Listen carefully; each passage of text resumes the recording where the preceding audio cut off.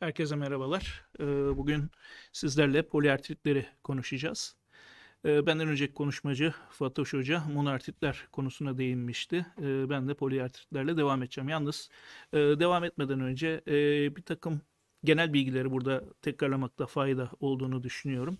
Bu genel bilgiler propedetik vasfında nedir? İşte e, artritli hastaya yaklaşım kısmında sizlere geçen yıl anlatmıştık. E, Bu konuda olayın öncelikle e, eklem kökenli mi, eklem dışı kökenli mi olduğunu e, ayırt etmek gerekiyor. E, bu açıdan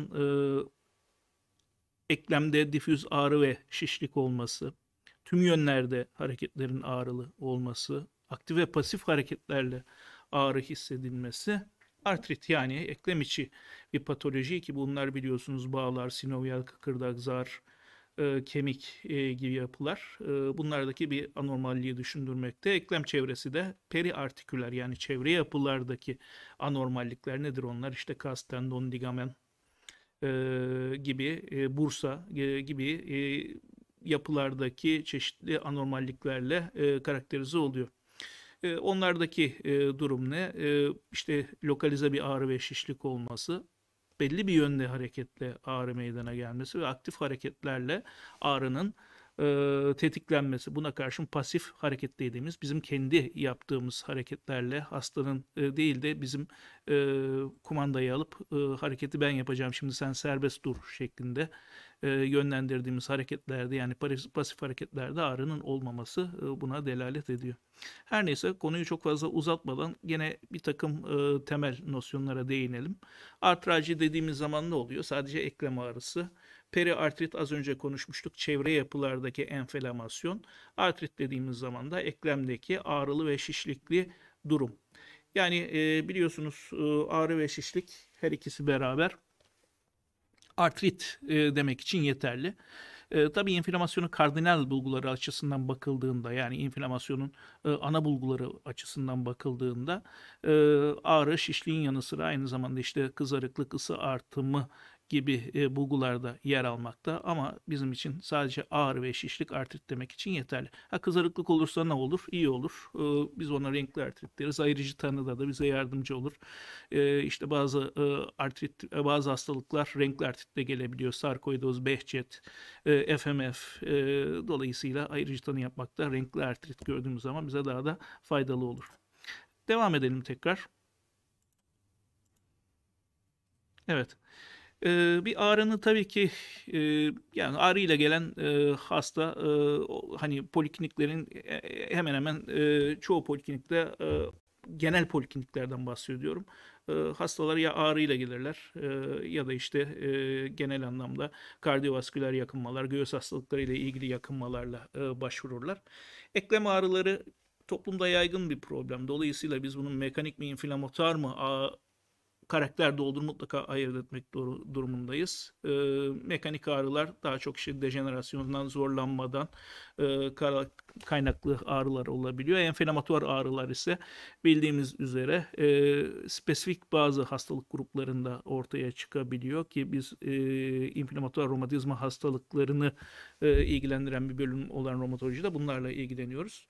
Peki nasıl e, ayırt ediyorduk bunları? Hareketli ağrının iyileşmesi, istirahatle kötüleşmesi, sabah kalkınca uzamış bir sabah tutukluğunun varlığı, bunun dışında çeşitli eklem dışı bulguların mevcudiyeti nedir onlar? İşte cilt bulguları olabilir, sedef hastalığının döküntüsü gibi. Bunun dışında bağırsak hastalığı bulguları olabilir. Kanlı ishal yapma, kron, ülseratif kolit e, şeklinde ya da göz tutulumu gibi çeşitli bulguların varlığı ya da konstitüsyonel bulguların varlığı e, bu ağrıya eşlik ediyorsa inflamatuar bir patoloji olup olamayacağı konusunda bizlere yön verebiliyor. Daha sonra bildiğiniz üzere e, olayın akut ve kronik e, ayrımını yapıyoruz. Akut 6 haftanın altındaki ağrılar, kronik ise eklem ağrıları için bahsediyorum bu konuyu. 6 hafta ve üzerindeki ağrılardan e, oluşan e, sürece döneme diyoruz. Yani bir ağrı 6 hafta ve üzerindeyse buna kronik diyoruz. Eklem ağrıları için, bel ağrıları için bu eşik değer 3 ay bildiğiniz üzere. 2 ila 4 eklem tutulumu oligoartrit, 5 ve üzerindekilere poliartrit deniyor. Ee, ancak genel olarak oligo ve poliartritleri bir arada genellikle e, biz e, anlatıyoruz ve e, bu şekilde hani genellikle poliartritler konusunda değiniyoruz bu hastalık gruplarına. Eklem tutulumunun paterni gezici yani göç eden, migratuar, spesifik bazı hastalıklar da ortaya çıkıyor. Dissemine gonokokal enfeksiyon, Lyme, akut romatizmal gibi. Eklenen en sık görülen formdur bu aditif artrit. Eklene eklene gitmekte olan artrit. E hemen hemen tüm romatizma hastalıkları bu şekilde romatoid artrit, lupus, bağ dokusu, diğer bağ dokusu hastalıklarında e, alabiliriz. Epizodik yani intermittent artrit dediğimiz artritin olması, geçmesi yani hastaya bir soluk aldırması, bir dönem sonra bunun tekrarlaması olarak tanımlanabilir buna. Intermittent artritte kristal artritleri gibi e, spesifik bir takım artrit durumlarında ortaya çıkar. Yine Artritin simetrisi de önemliydi. Aynı eklem düzeyinde oluyorsa karşılıklı olarak buna simetrik artrit diyorduk. Şimdi geçelim artık ufak ufak e, poliartrit konularına. Çünkü aslında poliartrit bir seminer değil. E, bu bahsettiğim konuların hepsi ayrı bir seminer içeriği. Ancak kısa hatlarıyla e, bahsedelim. Poliartritleri kabaca akut ve kronik olarak ayırırsak eğer e, akut poliartritler içinde en meşhur e, olanlardan biri e, viral artritlerdir. Viral artritler içinde pek çok etken var ancak bizim tek, teorik olarak veya pratik olarak en sık karşılaştıklarımız parvovirüs, rubella virüs e, artritleri olmakta. Parvovirüs B19 çeşitli hastalıklara neden olabiliyor. Hepinizin bildiği üzere ki bu 5. hastalık yani eritema enfeksiyozumun da e, etkeni. E, işte e, geçici plastik krizler, bazı hidroksifetalis olguları, spontan abortuslar, immün yetmezlikli bireylerde reküren kemik iliği süpresyonları gibi durumlara neden olmakla birlikte beni ilgilendiren, yani daha doğrusu romatoloji alanını ilgilendiren olay da burada bir poliartrit tablosuna yol açabilmesi. Yani hastanın bir şekilde tabii biz erişkin yaş grubu bireylerle ilgilendiğimiz için e, erişkin yaştaki bir e, bireyin e, solunum yolu enfeksiyonunu müteakip olarak e, artrit geçirmesi, poliartritle gelmesi e, bize acaba bu viral artrit kökenli bir durum mu diye düşündürüyor. Eğer çocuğunda da benzer yakınmalar varsa hatta e, biliyorsunuz bu eriteme infeksiyozumun e, çocuklardaki karakteristik bir görünümü var. Bu e, tokat atılmış yanak şeklinde bir e, ifadeden bahsediliyor. E, eğer bu tokat atılmış yanak görünümü çocuğunda da varsa bize ayrıca da bir miktar e, faydalı olabiliyor. Şimdi e, çocuklarda bir miktar döküntü daha ön planda giderken erişkinlerde artrit daha ön planda oluyor. Peki artritin vasfı nasıl? Artrit akut bir poliartrit. E, simetrik bir tutulum gösteriyor. Aditif bir patern yapıyor. Aslında şöyle bir bakarsanız romatoid artrit gibi benzerlikler gösteriyor. Nedir o? E, poliartrit olması, simetrik küçük eklemleri tutması, aditif olması açısından e, özellikler gösteriyor. Ne göstermiyor e, benzerlik olarak? Akut olması göstermiyor. E, yani kronikleşmemesi göstermiyor. Şimdi buradan e, eve götürün mesajı verecek olursak viral artritlerin kronikleşmeyeceğini e, aklımızda tutmamız gerekiyor. Yani bir artrit eğer e, kronik bir dönemde sizde e, karşınıza geldiyse yani semptomlar başladığı 8 hafta oldu, 10 hafta oldu, 6 haftanın üzerindeki bir süreçten bahsediyorum.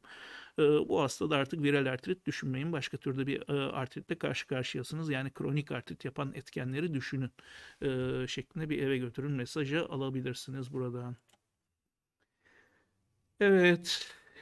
Tanı e, genellikle klinik olarak koyuyoruz ama e, serolojik olarak da bunu doğrulamak e, gerekebiliyor bazı durumlarda. Rubella nedir? Rubella yine çocukluk çağının e, ve aşılaması tabii ki rubella virüs aşılaması yine çocukluk çağı e, döneminin e, önemli hastalıklarından biri. Biliyorsunuz solunum yolu ile bulaş kış ve erken bahar aylarında ortaya çıkmakta. E, ana bulguları işte kızamağa benzer bir makulopapüler e, döküntüsü var. E, yuma ışak damakta peteşiler görülebiliyor. Özel önemli bulgulardan biri bu lenfadenopatilerin olması, posterior servikal ve subokspital lenfadenopatilerin varlığı. E, yine bir şekilde bir prodromal dönem geçiriyor hasta. E, işte solunum yolu e, ilişkili bir takım bulgular, döküntü, daha sonra da artrit bulguları ortaya çıkabiliyor. Yine benzer şekilde ne demiştik? Viral artritler, akut poliartrit, e, gene aditif, gene inflamatuar, e, hakeza e, kendini sınırlayan bir e, artrit e, tablosu ortaya çıkabiliyor. Şimdi e, bunun bir diğerinden e, biraz daha farklı bir özelliği var. Tenosinovid bulguları yani periartiküler dokuda da etkilenme görülebiliyor. Yani artritin yanı sıra bir de periartrit e, etkilenmesi olabiliyor. E, dolayısıyla işte e, bir hasta geldi. Solunum yolu enfeksiyonunu müteakip çeşitli bulgular ortaya çıktı. Lenfadenopatileri var. E, bu acaba rubellaya bağlı bir artrit olmasın mı diye düşünmek aklımıza e, gelsin. Bir diğer önemli hastalık grubu akut poliartritlerden tekrar bahsediyorum. Akut romatizmal ateş ve posteptekokal reaktif artrit. Şimdi akut romatizmal ateş benim e, hastalık gruplarım arasında aslında yer almıyor. Neden? Çünkü bu çocukluk çağı gruplarında e, yer alan bir e, hastalık. E, erişkinde biz bunu görmüyoruz ama önemli bir hastalık olduğu için yine kısaca bir bahsetmekte fayda var. E, A grubu beta homeotik streptokokların tonsilla farenjitini takiben ortaya çıkıyordu hepinizin bildiği üzere. Dolayısıyla immün sistemde bir çeşit e, anormallik, anormallikler meydana geliyordu. Neydi onlar? E, işte çeşitli e, mikrobiyal ürünlere karşı e, antikorlar geliştiriyordu ki mesela hyaluronik asite karşı kapsülde bulunuyor bu. Gelişen antikorlar aynı zamanda sinovyal dokuyla çapraz reaksiyon verip ne yapıyordu? Artritte neden olabiliyordu. İşte M proteini, işte kardiyak sarkolemma e, ile reaksiyon veriyordu. İşte kardite neden olabiliyordu. Meşhur Jones kriterlerimiz var. İşte eklem tutulumu, kardit, subkutan nodül, eritema marginatum ve Sydenham koresi şeklinde geçebiliyor. Peki artriti nasıldı bunun? Migratuar demiştik. Çeşitli artrit tiplerini tanımlarken işte migratuar, aditif ve intermittent demiştik. Migratuar gezici bir artrit oluyor. Genellikle büyük eklemleri tutuyor. Ee, bir eklemde artrit olurken mesela dizde e, artriti mevcut. Migratuar vasfından dolayı dizdeki artrit geçip yatıştıktan sonra başka bir yere hemen e, müteakibinde hemen kısa bir süre içinde dirseğe mesela e, artrit e, transfer olabiliyor. Yani geçiyor, geziyor. Ama akut romatizmal ateş benim hani gördüğüm hastalık gruplarından değildi. Ben daha çok ne görüyorum? Poststreptokokal reaktif artriti daha ön planda görüyorum. Bu ne demek? Yine streptokoklarla meydana gelen bir hastalık e, türü bu. Tonsilla faranjiti takiben meydana geliyor ama sadece A grubu değil C ve G grupları da bundan sorumlu olabiliyor. Yine bir prodrom dönemi var. E, biliyorsunuz akut romatizmal ateşte başa dert olan e, durum kardiyak tutulumdu. Bu kardiyak tutulum nedeniyle mortalite ve morbidite artıyordu. E, reaktif artritte şükür ki böyle bir tablo yok. O daha çok artrit biraz daha kalıcı olmaya meyleden bir tablo içinde seyrediyor poststreptokokal reaktif artritte. Karditi çok mortalite ve morbidite ile gitmiyor. Dolayısıyla penisilin profilaksi yapma gereği çok duyulmuyor. Bir önceki migratuar bir artrit paterniydi. Bu daha çok aditif ve simetrik. Hatırlarsanız viral artritlerde de benzer şeyleri söylemiştik. Aditif, simetrik, küçük eklemleri tutan diye bahsetmiştik. İnflamatuar tabii ki bu artrit hareketlerin hepsi inflamatuar vasıflı. Gelelim e, bir başka akut e, poliartiküler e, etkene gonokokal artrit. Gonokokal artriti Fatoş Hanım size bahsetmiştir akut monoartritler vasfında. iki tip artrit yapıyor gonokokal artrit. Bir klasik septik artrit gibi giden bir mono, monoartiküler formu. Bir de şimdi kısaca bahsedeceğim. Poliartiküler seyredebilen bir formu. Ee, genç e, bireylerde daha çok işte seksüel olarak aktif bireylerde e, ortaya çıkabilen bir e, artrit türü bu. Genellikle riskli bir cinsel ilişki öyküsü ya da işte genitoüriner sisteme ilişkin bulgular ortaya çıkabiliyor. E, yaygın gonokokal enfeksiyon olarak geçiyor bu benim anlatacağım poliartritle seyreden formu. Monoartrit olan biliyorsunuz septik artrit gibi gidiyordu. Onu hani Fatoş Hoca anlatmıştı size.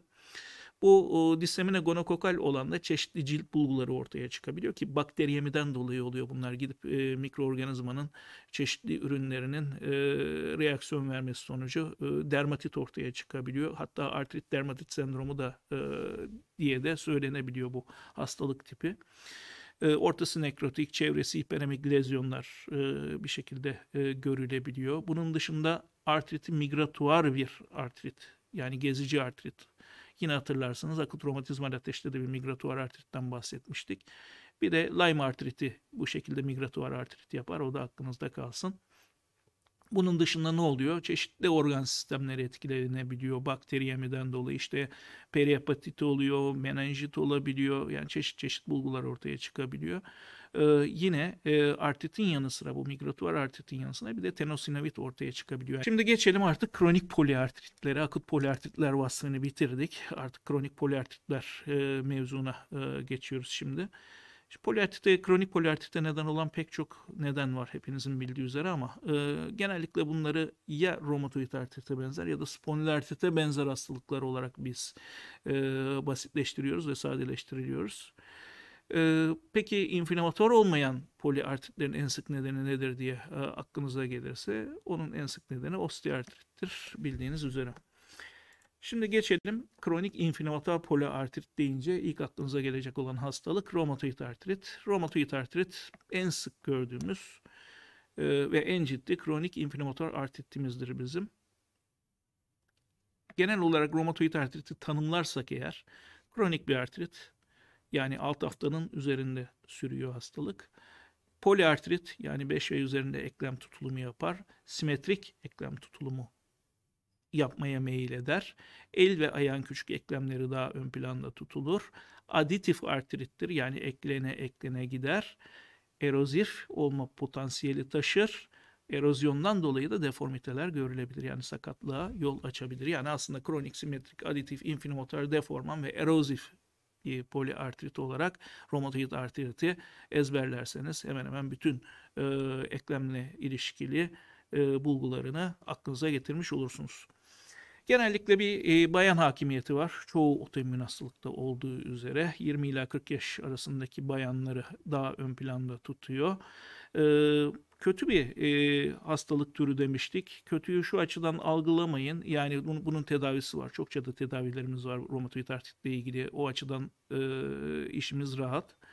Ee, ama e, kötü dememizin e, nedeni spontan remisyona girme olasılığının çok düşük olması. Dolayısıyla siz bu hastalığı mutlaka tanımak durumundasınız. Tanımazsanız spontan remisyona girmeyeceği için e, bir şekilde hastada erozyon ve deformite yani sakatlık geliştirme potansiyeline e, yol açabilme e, riski taşımakta.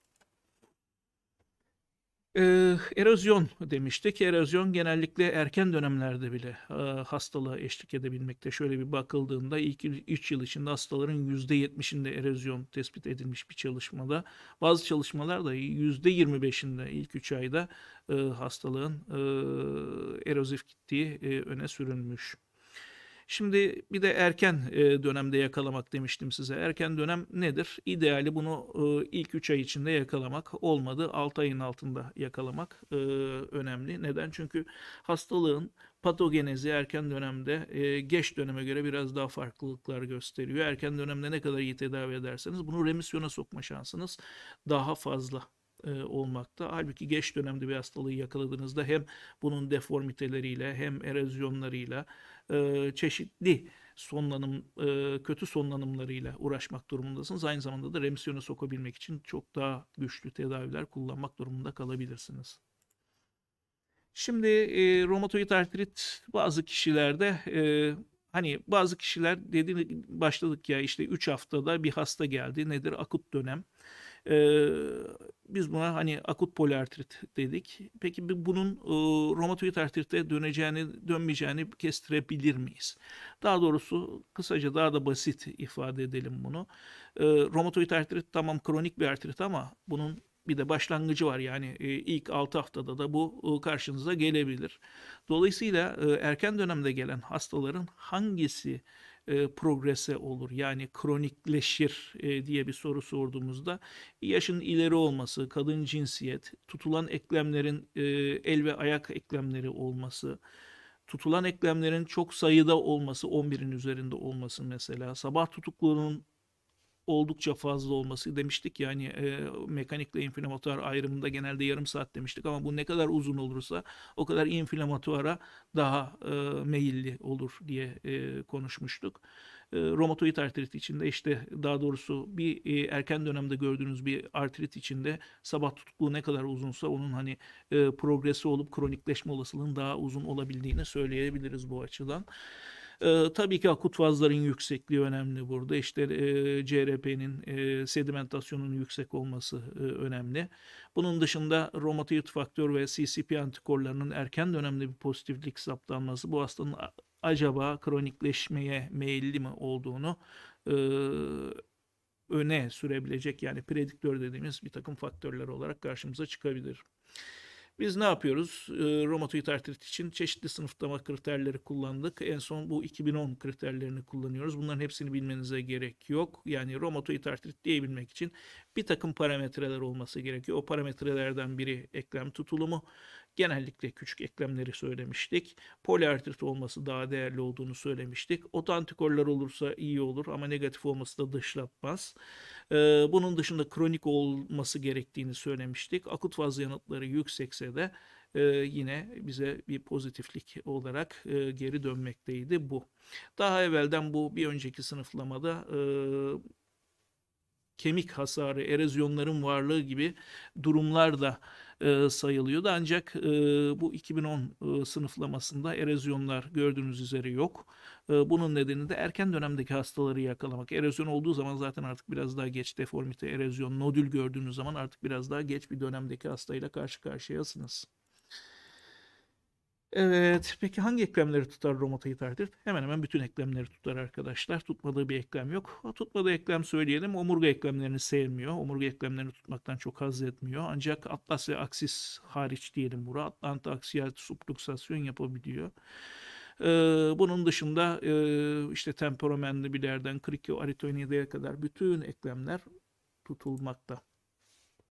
Ve romatoid artrit e, kendine has bir takım spesifik deformitelerle de, spesifik demeyelim de, kendine az bir takım e, deformiteler de karşımıza çıkabilmekte. İşte e, parmaklardaki ulner deviyasyon, e, işte kuğu boynu, şurada e, güzelce gösterelim şu şekilde. Kuğu boynu deformitesi, gördüğünüz üzere distal interfelengel eklemin hiperfleksiyon olması, proksimal interfelengelin ekstensyonda kalması. Bunun tam karşıtı nedir? Proksimalin fleksiyona gelip distalin e, ekstensyonda olması durumuna da düğme iliği deformitesi deniyor. İşte metakarp başlarının e, subluksasyonu. Bunun haricinde e, bir hastada bunların çeşitli kombinasyonları yani bir kuğu boynu görülürken düğme iliği de görülebileceği aklınızda olsun. Ayakta da çeşitli deformiteler e, ortaya çıkabilir. Peki hastalığın erozif gidip gitmeyeceğini nasıl anlarız? E, az önce söylediğim hani bu hasta kronikleşecek mi acaba'daki e, parametrelerin yanı sıra bir de ortak epitop dediğimiz HLA e, antikorlarından e, HLA antikoru diyorum HLA antijenlerinden bir antijenin varlığı DRB1 0401 ya da 0404'ün varlığı da e, bu erozyonla e, ilişkili olabileceği yönünde bize e, öngörüde bulunabiliyor. Romatoid artrit tamam bir eklem hastalığı olarak söylüyoruz ama e, bizim hastalıklarımız inflamatuar hastalıklardır ve inflamatuar hastalıklar sistemik hastalıklardır. Yani çeşitli organ sistemlerini tehdit edebilmektedir. Cilt, akciğerler, böbrek, göz, kalp yani hastalığın seyri esnasında bize çeşitli e, dahili klinik bulgularla hasta e, başvurabilir. E, akciğer tutulumu en sık tutulum bulgularından biri. İşte plevral efüzyondan plevral efüzyondan tutun da işte interstitial akciğer hastalığına kadar. Subkutan nodüllerin varlığı bu sadece deri altında olmakla birlikte e, akciğerlerde, çeşitli iç organlarda hatta meninxlerde bile ortaya çıkabilmekte. Subkutan nodül görüyorsanız bu ileri evrede bir hasta olduğunu aklımızda tutalım. Romatoid artritin e, erken aterosklerozla olan ilişkisi meşhurdur. Hatta diyabet eşdeğeri olarak tanımlanmaktadır çalışmalarda e, romatoid artrit. E, diyabet eşdeğeri bir kardiyovasküler hastalık e, risk faktörüdür. Bu da aklınızda kalsın. Yani e, yaş ve cins uyumlu kontrollerle kıyaslandığında artmış bir e, ateroskleroz ve e, MI riski mevcuttur. Gözde e, klasik olarak e, kuru göz bulgularını e, ortaya çıkartır. Bunun dışında episiklerit, siklerit e, gibi e, çeşitli bulgular da e, karşımıza gelebilir. Hatırlarsanız spondilartritlerde daha çok üveit ortaya çıkıyor ve konjonktivit görülebiliyor. Tabii bu da e, önemli bir bulguydu. Özellikle reaktif artrit için konjonktivit ortaya çıkabiliyordu. E, ama e, romatoid artrit ve bağ dokusu hastalıklarında daha çok işte e, kuru göz bulguları e, romatoid artrit için e, episkleris gromolazi e, ortaya çıkabilmekte. Çeşitli nörolojik bulgular, çeşitli periferik nöropatiler, daha da ön planda tuzak nöropatiler, e, tabii oradaki eklem çevresindeki dokuların şişmesine bağlı olarak e, tuzak nöropatilerin ortaya çıkabileceği aklınızda e, bulunsun.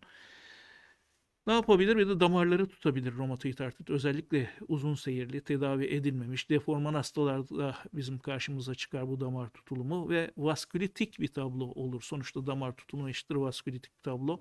Ee, ve çeşitli organ sistemleri bundan etkilenebilir.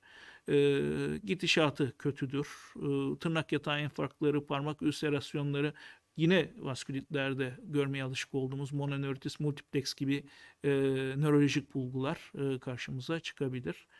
Yine tedavi edilmemiş, eskiden gördüğümüz artık şükür görmediğimiz sekonder amiloidoz e, bulgusu var. E, bildiğiniz üzere kronik hastalıkların hemen hemen hepsinde amiloidoz ortaya çıkabilir ama e, romatoid artritte ve diğer bizim e, inflamatuar romatizmal hastalıklarda FMF dahil olmak üzere amiloidoz riski e, artık daha düşük e, sıklıklarda görülüyor. Bu toplumun bilinçlenmesi, hastaların da erken tedavi alması, hastalıkların tanınabilmesi, daha erken dönemde tanınabilmesi e, nedeniyle e, olmakta. Tabii ki efektif tedavi e, şeylerinin de ajanlarının da e, gelmesi bu açıdan önemli. Felti sendromu yine romatoid artrit konuşulurken e, anlatılan e, tablolardan biri. Nedir Felti sendromu? Uzun süreli erozif romatoid artrit yine uzun seyirli ve erozif romatoid artrit olgularında olan bir e, durum. Romatoid vaskülit gibi. E, burada çeşitli e, ülserasyonlar ortaya çıkıyor. İşte e, bunun yanı sıra çeşitli kan bulguları, nötropeni, splenomegali, large granül, büyük e, granüler lokasitler gibi periferik kanda e, durumlar ortaya çıkabiliyor. Bu e, imajı size aslında geçen yıl e, göstermiştik. Hatta sınav sorularınızdan biri de olmuş olabilir. Üstteki romatoid artriteyle görüyorsunuz. E, proksimal interferengel eklemlerde belirgin bir e, tuturum mevcut. E, eğer siz bunu muayene edecek olursanız hamur kıvamında bir şişlik alırsınız bu e, muayene esnasında. Bunun nedeni de işte sinovyal dokunun e, enflama olup şişmesi e, nedeniyledir. Alttaki elde osteoartrit, osteoartrit e, elidir arkadaşlar. Gördüğünüz üzere distal interferengellerde tutulum vardır. Eğer bir hastada distal interferengel tutulumu varsa osteoartrit hakkınıza gelsin. E, aynı zamanda da psoriatik artrit hakkınızda bulunsun. Psoriatik artritin distal interferengelleri tutan formundan bahsediyorum. Ama bu demek değildir ki her distal interferengel tutulumunda e, hep osteoartrit düşüneceğiz. Hayır e, osteoartrit artı romatoid artrit birlikte olabilir. E, ama romatoid artrit distal interferengel eklemleri tutma eğilimi göstermez. Aynı zamanda bu birinci karpometakarpal eklemin bakın tutulduğuna bağlı bir kare el görünümü görebiliyorsunuz bu o, görüntüde.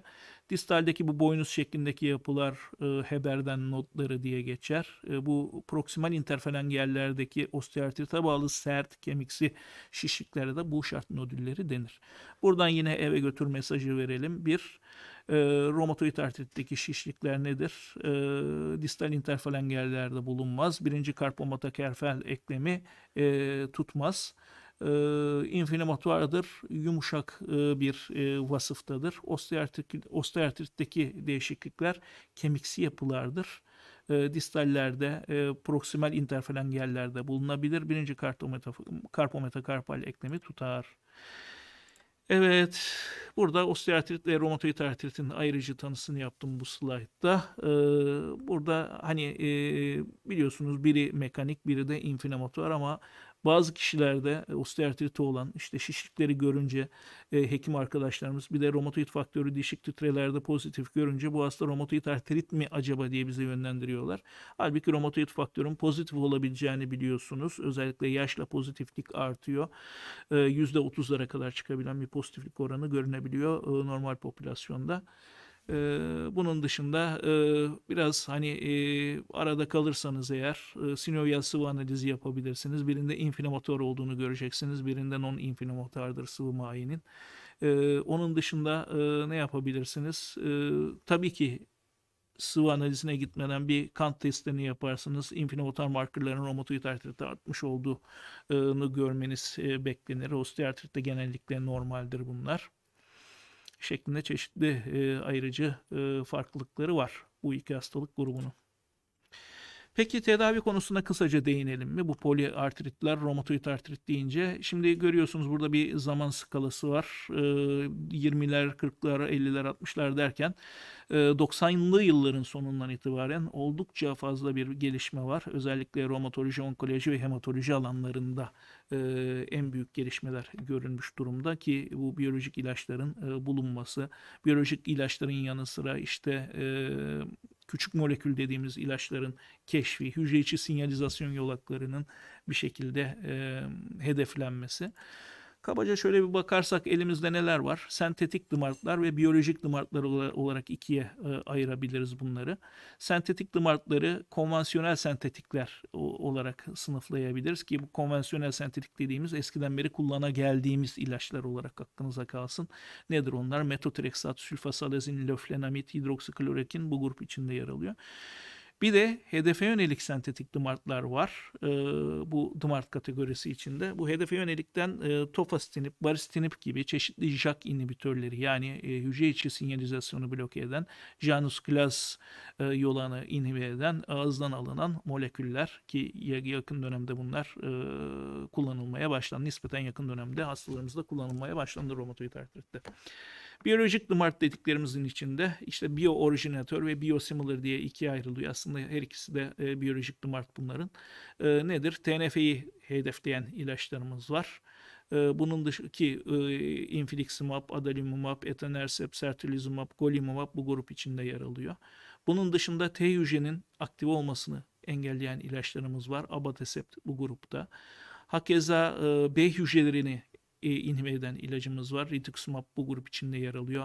Anti-CD20 antikoru bildiğiniz üzere. Interleukin 6'yı bloke edebiliyoruz. Tocilizumab grupta yer alıyor. Hakeza interleukin 1 antikorunu da bloke edebiliyoruz. Anakinra ve kanakinumab bu gruplar arasında yer alıyor. Yani dolayısıyla romatoid artritli bir hasta geldiğinde aslında biz üzülmüyoruz. Ee, hani kronik bir hastalık olduğunu biliyoruz ama elimizde çok fazla tedavi seçeneği olduğunu e, ve bu tedavi seçenekleriyle hastanın remisyona girebileceğini, remisyonun uzun süre devam edebileceğini hatta ömür boyu sürebileceğini de e, aklımızda tutuyoruz, biliyoruz.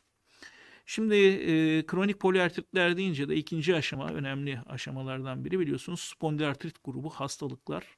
Burada gördüğünüz çeşitli hastalıklar var. İşte juvenil spondilartrit, ankilozan spondilit, işte psoriatik artrit, reaktif artrit, enteropatik artrit gibi. Bunlardan en sık görüleni ankilozan spondilit, en nadir ya daha doğrusu en az görüleni de e, reaktif artrit olarak karşımıza e, çıkıyor. E, çeşit çeşit hastalık grupları ama ortak bir şemsiye altında, spondilartrit şemsiyesi altında birleşmiş hastalıklar bunlar.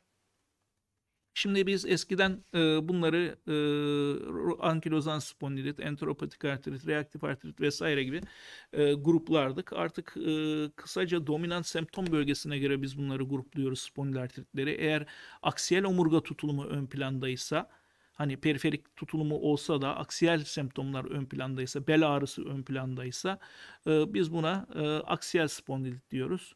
Periferik semptomları ön plandaysa nedir o periferik semptomlar diyeceksiniz. Tabii ki artrit, daktilit, entezit periferik semptomları oluşturmakta. Ee, bel ağrısı e, dayanılabilir ama işte artriti, enteziti, daktiliti daha ön plandaysa hastaya daha e, çok acı veriyorsa ve muzdarip ediyorsa e, buna da periferik spondilartrit diyoruz. Aksiyel spondilartritleri de yakın dönemde yine ikiye ayırdık. Radyografik bulgu veren ki buna ankilozan spondilit demek doğru olabilir bir de non-radyografik yani henüz radyografik e, konvansiyonel grafilere, direkt grafilere radyografik hasarın yansımadığı non-radyografik e, aksiyal spondilartrit e, grubu. Patogenizine çok girmeyeceğim ancak e, spondilartritlerde güncel bir olay e, şu e, bir kere mekanik e, stresin e, rolü, biyomekanik stresin rolü e, oldukça popüler yakın dönemlerde e, yüklenmeye, biyomekanik strese bağlı e, nedir? E, genetik zemini müsait olan kişilerde ki genetik yatkınlığı olan ne olabilir? O işte HLA-B20 olabilir, B27 olabilir. Interleukin 17-23 yolağını ilgilendiren çeşitli genlerin varlığı olabilir. E, kişilerde prostaglandin E2 üretiminin e, artması, interleukin 23 salınımı, interleukin 17 yolağının aktivasyonu, TNF'nin ortaya çıkması ve e, bağırsak hücrelerinden, e, bağırsak mukozasından ki burada bağırsak mukozasındaki değişiklikler de önemli arkadaşlar. Burada bağırsak florasının bozulması, mikrobiyatanın değişikliği, e, bağırsak permeabilitesinin bu az önce söylediğim e, çeşitli stokinlerle artması ve eklem bölgelerine ya da enteziz bölgelerine göçü önemli. Dolayısıyla genetik duyarlı bir birey olacak. HLA-B20 ya da olabilir ya da işte ERAP dediğimiz genler olabilir. Interleukin 23-17 e, genleri olabilir veya bilemediğimiz diğer genler olabilir. E, bu kişilerde bir biyomekanik stres olacak. E, interleukin 17-23 yola aktif olacak. Bağırsaktaki e, neden mikrobiyata değişiklikleri ve bağırsak permeabilitesinde artış olacak. Oradaki çeşitli stokinlerde e, entezis ve eklem bölgelerine göç edecek gibi aklınızda kalsın. Peki az önce bir sürü farklı farklı hastalığı size bahsetmiştim. Bu farklı farklı hastalıklar e, nasıl oluyor da bir grup altında, bir şemsiye çatı altında gruplanabiliyorlar? Tabii ki bir takım ortak özellikler göstermek durumundalar bunlar. Nedir onlar? İşte klinik olarak bir takım ortak özellikler göstermek gerekebilir. İnflamatuar tipte bir e, omurga ağrısının mevcudiyeti mesela bunlardan biri.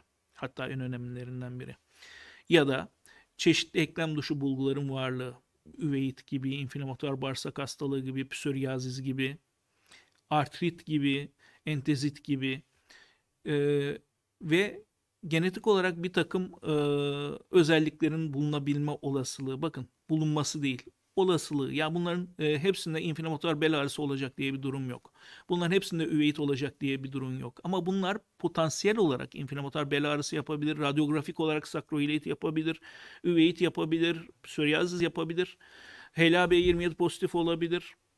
E, ailede romatolojik e, hastalık öyküsü, spondilit ilişkili hastalık öyküsünün ankilozan spondilit, üveit, reaktif artrit, psoriaziz ya da inflamatuar bağırsak hastalığı gibi e, bulunması. Birinci ve ikinci derece yakınlardan bahsediyorum arkadaşlar. Çok uzak yakınlar e, çok da fazla e, ilişkide olamayabiliyor. Ve radyolojik olarak bir takım bulguların görülebilme e, olasılığı. Yani e, bu hastalıklar bu, da, bu tip özellikleri göstererek e, aynı grup altında e, sınıflanabiliyorlar. Şimdi dedik ya en önemli özelliklerden biri inflamatuar tipte bir e, aksiyel ağrının varlığı ki bunu mutlaka bilmeniz, hekimlik e, yaparken aklınızda tutmanız gerekir. E, az önce mekanik inflamatuar eklem ağrılarını ayırırken bir takım özellikler söyledim ki bunların bir kısmı burada da geçerli olacak. Hareketle iyileşmesi, istirahatle kötüleşmesi e, uzamış bir sabah tutukluğunun varlığı, uzamış bir omurga ağrısının e, tutukluğunun varlığı yine e, bunlar benzer tarafları e, bel ağrısının kronik vasıfta olması yani 3 ayın üzerinde sürmesi hatırlarsanız eklemlerde 6 hafta ve üzeriydi. E, kronik bel ağrısı demek için 3 ay ve üzeri diyoruz. 45 yaşının altında başlaması yani 65-70 yaşında bir bireyde yeni başlangıçlı bir bel ağrısında ilk planda aklınıza spondilartrit gelmesin. E, daha çok hani mekanik ağrılar aklınıza gelsin. Ama bu bel ağrısı 65 yaşında bir hasta size gelebilir. Bel ağrısını 20 yaşından beri çekiyordur. Yani 45 yaşın altında başlamıştır. Ha o zaman tabii ki e, durum farklı. E, hareketle azalıp istirahatle e, kötüleşmesi, gecenin ikinci yarısında uykudan uyandırıp dolaştırması, e, aklınızda kalsın yine bir ağrı hastayı gece uykudan uyandırıyorsa o ciddi özellik gösterebilir. Yani e, sadece romatolojik olarak değil diğer e, nedenler açısından da bir ciddiyet e, teşkil etmektedir. Gece uykudan uyandıran bir e, patoloji organik bir nedene işaret ediyor olabilir. Yer değiştiren gluteal ağrının varlığı. Şimdi e, bu o, bir hafta sağ e, bir hafta sol gluteal bölgede ağrının hissedilmesi gibi. Burada yine bir dipnot açalım. Gluteal ağrı neresi e, diye sorduğumda e, siz öğrenci arkadaşlardan genelde e, şey görüyorum. Nedir o? o kalça eklemiyle ilgili e, cevaplar görüyorum. Sakroiliak eklem ağrısı e, derin gluteal bölgede e, ve alt bel bölgesinde hissedilir. Kalça eklemi ağrısı kasık bölgesinde hissedilir arkadaşlar. Şimdi kalça ağrısı derseniz o zaman ben kasık ağrısı algılıyorum. E, halbuki sakroiliak eklemlerle ilgili ağrı e, var dediğim zaman derin gluteal ya da alt bel bölgesindeki ağrılardan bahsetmiş oluyorum. Ee, ve de bir diğer önemli özellik antiinflamatuar kullanımına oldukça iyi yanıt vermesi. E, mekanik bel ağrılarının sadece %10'u 15'i e, antiinflamatuar kullanımına iyi yanıt veriyor bir hasta size geldiğinde ya benim yıllardır belim ağrıyor ama Voltaren ya da işte Majezik ya da herhangi bir ticari adını artık boş verelim. Bir non-steroid adı size söylesin ve bundan fayda gördüğünü söylerse aklınıza acaba inflamatuar bel ağrısı olmasın mı diye bir şüphe gelsin. Diğer bulguları da mutlaka sorgulayın. Evet. Spondilartritler deyince HLA B27 dedik ama aklınıza şu e, gelmesin bütün e, spondilartrit türlerinde %80-90'larda bir HLA-B27 pozitifliği gibi bir şey e, olmuyor. En çok ankilozan spondilitte bu pozitiflik e, saptanıyor. Yaklaşık %90'larda bu batılı çalışmalarda Türkiye'de %70 civarında. Bunun dışında değişen oranlarda diğer artrit türlerinde de spondilartrit türlerinde de karşımıza gelebiliyor. Mesela psoriatik artritin periferik artrit yapan formunun ancak %20'sinde B27 pozitif bulunabiliyormuş. Bu da önemli bir rakam. Neden önemli bir rakam? Çünkü normal popülasyona baktığınızda normal popülasyonun sadece %6 ila 8'inde HLA-B27'nin pozitif olduğunu görüyorsunuz. Yani psoriatik artritin periferik artrit formu neredeyse normal popülasyondan 3 kat daha fazla sıklıkla bir B27 pozitifliği oranına sahip. Ee, bunun dışında e, neydi? Ortak özellikleri konuşuyorduk. İnflamatuar tipte bir bel ağrısı yapabilme özellikleriydi. Bunun dışında radyografik olarak çeşitli bulgulara yol açabilme e, özellikleriydi ki biz radyografik olarak sakroiliyak eklemlerin değerlendirmesi, omurganın değerlendirmesi bizim için önemli e, bir takım ipuçları sağlıyor. E, burada çeşitli e, derecelendirme e, derecelendirmeleri görüyorsunuz. İşte sıfır, hiçbir problem yok. Bir, şüpheli değişiklik, sakroiliak eklemler için konuşuyorum.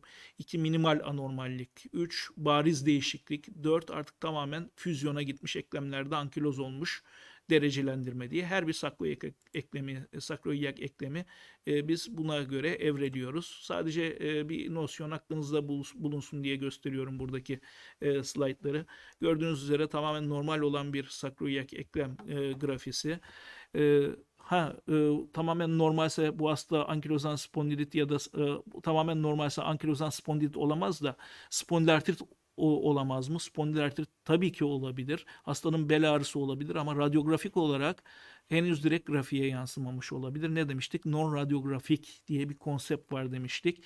Bu durumda MR'da pozitiflik görülebilir. Ya da işte klinik olarak MR'da görünmese bile hala o bölgedeki e, anormallikler nedeniyle bizim gösteremediğimiz e, bir takım değişiklikler nedeniyle e, hastada e, omurga ağrısı devam ediyor olabilir. Ama ankilozan spondilit diyebilmeniz için mutlaka ve mutlaka sakroiliak eklemlerde önemli değişikliklerin olması gerektiğini e, bilmeniz gerekiyor. E, sakroiliak eklemlerde herhangi bir anormalliğin olmadığı bir hasta bu. E, sıfır olarak e, raporlanmış. Evre 1 dediğimiz zaman ya anormal mi değil mi onu çok fazla ayırt edemediğimiz e, durumlar. E, açıkçası şöyle e, tamamen e, normal mi yoksa biraz anormallik var mı? Böyle daha doğru ifade oldu. E, dolayısıyla burada da herhangi bariz bir anormalliğin olmadığı bir hasta grubu bu. Evre 2 dediğimiz zaman artık ufak tefek değişiklikler giriyor. E, nedir onlar? İşte e, eklem yüzeylerinde sklerozlar olmaya başlıyor. Ya da e, eklem yüzeyinde e, erozyonlar, lokalize küçük bölgelerde erozyonlar görülebiliyor. Evre 3 dediğimiz zaman artık şüpheye mahal bırakmayacak değişiklikler. Bakın belirgin erozyonlar, belirgin sklerozlar var. Bakın şurada kocaman bir erozyon. Yine e, burada testere dişi gibi görünüyor. Sklerozu görüyorsunuz belirgin. Burada hakeza yine çok güzel bir skleroz örneği var. Ee, yine güzel erozyonları görüyorsunuz burada. Sakroyak eklemlerin içinde yine testere dişi gibi bu şekilde. Eklem aralığı değişmiş, e, yalancı büyüme olmuş. Bu yeniklerden dolayı pseudo genişleme olmuş bu bölgelerde. Bakın eklem aralığı şurada genişlemiş. Yalancı genişleme diyoruz buna. Ya da daralma olabiliyor olay ilerledikçe eklem aralığı genişler, daralır. Bu zaman içinde füzyona gidebiliyor. Bakın burada e, kısmi bir füzyon olmuş. Ya da tamamen artık olay grade 4'e gidiyor. Eklem aralığı tamamen kapanıyor. Omurga için ne gibi, ne gibi değişiklikler görebiliyoruz? Omurgada da işte e, lateral grafileri biz tercih ediyoruz. Orada e, ne yapıyoruz? Bakın e, her bir omurgayı üst alt olarak ikiye ayırıyoruz. Buralarda spesifik bir takım değişiklikler var mı diye bakıyoruz. Ön kenarlarına bakıyoruz özellikle. E, aynı şeyi lomber vertebra için de yapıyoruz. E, ne bakıyoruz oralarda? Skleroz var mı? E, bakın sklerozlara güzel örnekler. Erozyon var mı? Bakın erozyona güzel bir örnek var. Şurada da bir erozyon örneği var. Ee, bunun dışında yeni kemik oluşumu var mı ki en önemli bulgular bunlar. Yeni kemik oluşumları ortaya çıkabiliyor ve bu yeni kemik oluşumları zaman içinde ne yapıyor? Birbiriyle birleşme eğilimine gidiyor. Buna ne deniyor? Ee, bridging yani köprüleşen sindesmofit deniyor. Dolayısıyla e, spondilartrit grubu hastalıklarda bu tip radyografik değişiklikler karşınıza e, gelebiliyor. Şimdi e, dedik ya eskiden ankilozan derdik, reaktif artrit derdik. Hala da bu tanımları kullanıyoruz ama artık aksiyel ve periferik olarak ikiye ayırıyoruz ki hem tedavi açısından bizlere daha e, homojenizi, daha kolaylık olsun hem de e, sınıflaması daha e, kolay olsun diye.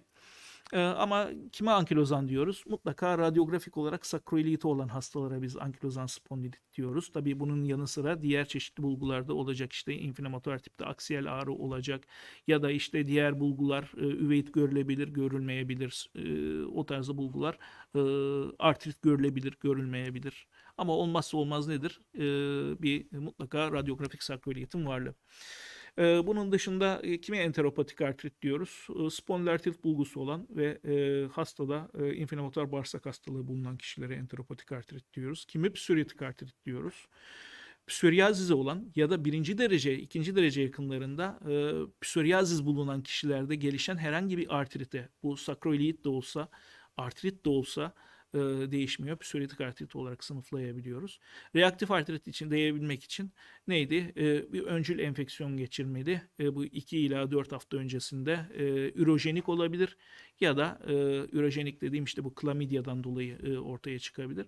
Ya da enterojenik yani Shigella campylobacter gibi invaziv e, etkenler nedeniyle ortaya çıkması e, ve bunu mütakip spondilartrit bulgularının gelişmesi reaktif artrit dememiz için yeterli oluyordu. Peki tedavimiz nedir? Şimdi ikiye ayırmıştık hatırlarsanız periferik ve aksiyel e, spondilartritler diye. Aksiyel spondil, aksiyel hastalıkta aslında e, hani romatoid artriti de bir düşünün. E, az önce size romatoid artritte ne gösterdim? E, konvansiyonel dımartlar dedim. İşte e, hedefe yönelik dımartlar dedim. Onun dışında bir de biyolojik ilaçlar dedim. E, şimdi hani oldukça fazla bir tedavi opsiyonu vardı. Spondilartritler için çok fazla elimizde opsiyon e, yine var ancak e, romatoid artrit kadar çeşitli değil. Özellikle aksiyel tutulumunda bir karşılanmamış ihtiyaç var, tedavi ihtiyacı var. E, ilk plan e, tedavimiz non-steroid antiinflamatuarlar sadece aksiyel tutulumu olan hastalarda. E, bu ilaçları yeterli dozda ve uygun sürede kullanıyoruz. Bir ilaca yanıt vermezse başka bir antiinflamatuar deniyoruz. Ona yanıt vermezse başka bir antiinflamatuar deniyoruz. E buna da yanıt vermezse ne yapıyoruz? Biyolojik tedavilere geçiş yapıyoruz. Yine TNF bloke edici ajanlar ki bunların içinde infliximab, etanercept, adalimumab, golimumab ve sertolizumab hepsi onay almış tedaviler. Ee, ve e, yakın nispeten yakın dönemde diyeyim e, interleukin 17 hedefleyici tedavilerde bu biyolojik ilaç e, grupları içine secukinumab ve ixezizumab katılmış e, durumda. Peki periferik e, spondilartritlerde tedavide ne yapıyoruz? Burada e, elimizde e, sülfasalazin var. Yani DMART olarak. No steroid verdik. Interartiküler steroidleri uyguladık e, sulfasalazin denedik. Bazen metotrexat da uyguluyoruz tabii biz bu hastalık grubuna. Bunlar da işe yaramazsa yine TNF bloke edici ajanları ya da interleukin 17 bloke edici tedavilere geçiş yapıyoruz. Bunun yanı sıra eğitim tabii ki şart. Bunun yanı sıra fizyoterapi egzersizleri mutlaka ve mutlaka olmak durumunda. Hasta gerek inaktif dönemde olsun, gerek aktif dönemde olsun, gerek biyolojik tedavi alsın, gerek konvansiyonel tedavi alsın mutlaka ve mutlaka fizik tedavi, fizyoterapi egzersizlerini ihmal etmeden devam etmek durumunda. Sigarayı kesmesini önemli e, söylüyoruz ki sigara e, radyografik hasar gelişimini e, arttırıyor. Bunun yanı sıra kullanılan ilaçların etkinliklerini düşürüyor ve çeşitli komorbiditelere neden oluyor aynı zamanda. Son olarak çok kısa değineceğim bağ dokusu hastalıkları. Bağ dokusu hastalıkları yine bu da bir şemsiye e, terim çeşitli ortak özellikleri içinde barındıran bir takım hastalıklar bunlar. Neler var? İşte e, lupus, Sjögren, skleroderma, e, miyozitler, polimiyozit, dermatomiyozit gibi e, tablolar e, hastalıklar e, bu grup içinde yer alıyor. Tanımlanamamış bağ dokusu hastalıkları yani hiçbir kategoriye uymayan ama bağ dokusu hastalığı özelliği gösteren hastalara diyoruz. Tanımlanamamış bağ dokusu hastalıkları diye. Mix bağ dokusu hastalığı mevcut.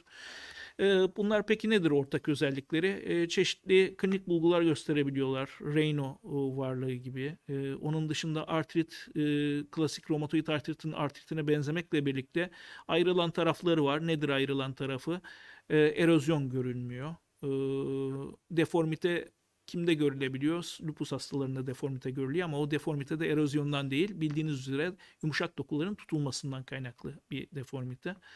E, bunun dışında sikka semptomlarının mevcudiyeti yani kuru göz, bulguları, e, kuru ağız bulgularının varlığı, e, çeşitli e, fotosensitif döküntüler, e, güneşe çıkınca hemen e, kısa süre içinde döküntülerin ortaya çıkması, malarraşın mevcudiyeti, e, alopesi, oral genital ülserlerin varlığı, interstisyal akciğer tutulumu, e, bunun yanı sıra klinik olarak e, bu bulguların yanı sıra bir de laboratuvar olarak çeşitli bulguların varlığı bizi yine bağ dokusuna yönlendiriyor.